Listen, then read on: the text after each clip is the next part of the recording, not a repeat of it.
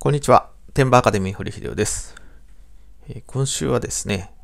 ビッグサイトで開催されてたワールドビューティーショーという、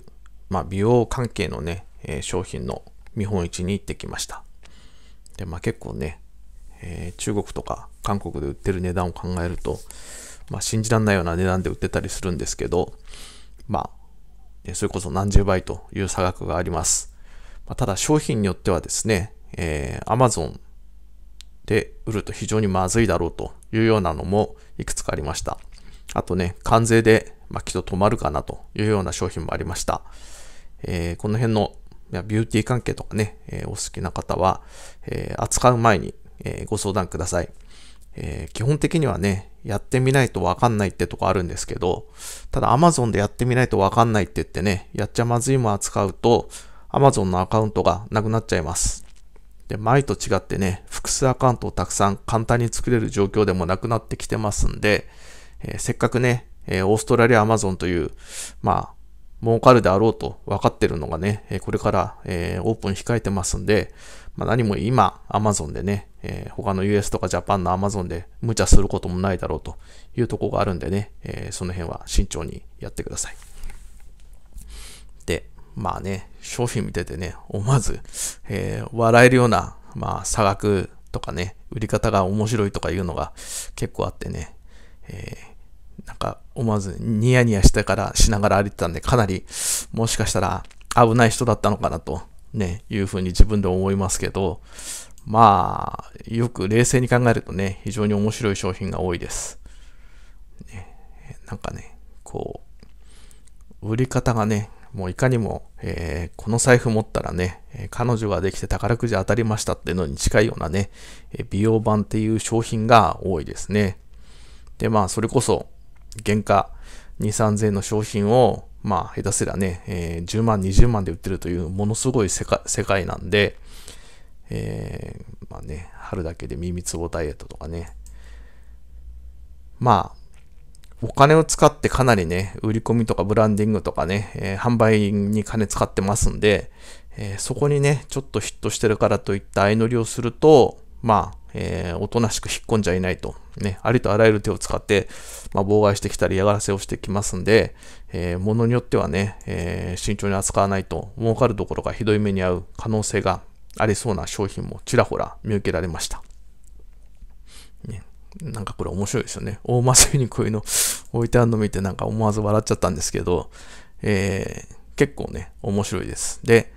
えーこのワールドビューティーショー行ってね、なんか面白い商品ないかなというのでもちろん見に行ったんですけど、まあその他見てて思ったのは、やっぱでかいブース持ってるとこの商品ね、えーまあ中国で300円ぐらいのもうね、3万円とかで売ってるんですけど、その辺の商品はね、やっぱり相当、えーがっつり守ってます。そのね、ライバルの参入を許さないというのをね、衣装権を取ったり、えー税関やら弁護士やら、ね、いろいろあれやこれやってます。だそういうところをね、えー Amazon で扱ってしまうと、まあ、もろに、えーアカウント吹っ飛ぶという危険がありますんで、まあ、ね、どうでもいいっちゃどうでもいい商品でね、で、興味がない人から見たら嫌がらせでしかないと言った意味ではね、このビューティー商品っていうのも、おもちゃとよく似た特性があるんですけど、一つ違うのはね、おもちゃ、おもちゃとはちょっとね、扱ってる人たちの人種がかなり違いますんで、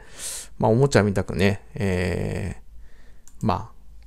何事もなくね、ただ売れなくなっちゃったで済む話ばかりじゃないというようなね、えーケースが考えられます。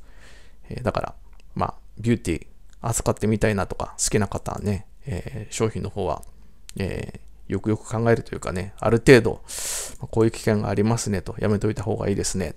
あるいはね、これは儲かるんで行っちゃいましょうというようなね、えアドバイスさせていただきますんで、えー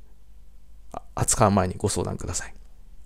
もちろん、Amazon じゃなくてね、えメルカリだの、ヤフオクだの、独自ショップで売るっていう点については、まあ、税関だけ気にしなきゃいけないのと、まあ、多少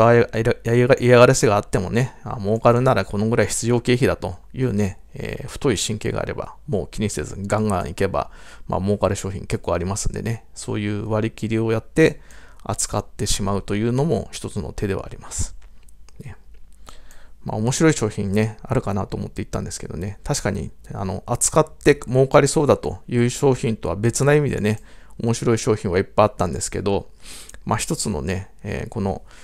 ワールドビューティーショー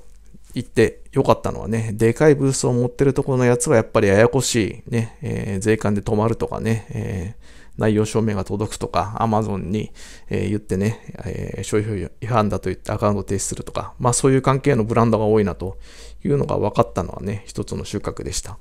ま今度ね、展示ってこういう扱いそうな商品とかの展示会があったらね、展示場行って、もうさっと見るだけでもいいですし、なんならマップだけ手に入れてね、でかいブース取ってるところの商品っていうのは、基本的に Amazon で扱うとやばいです。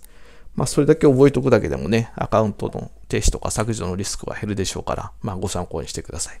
もちろん、扱い商品でね、これ大丈夫でしょうかねとかね、えー、あるいは、えー、これ儲かりますかねというのがあったらね、お気軽にご相談ください。以上、テンバーアカデミー、堀秀夫でした。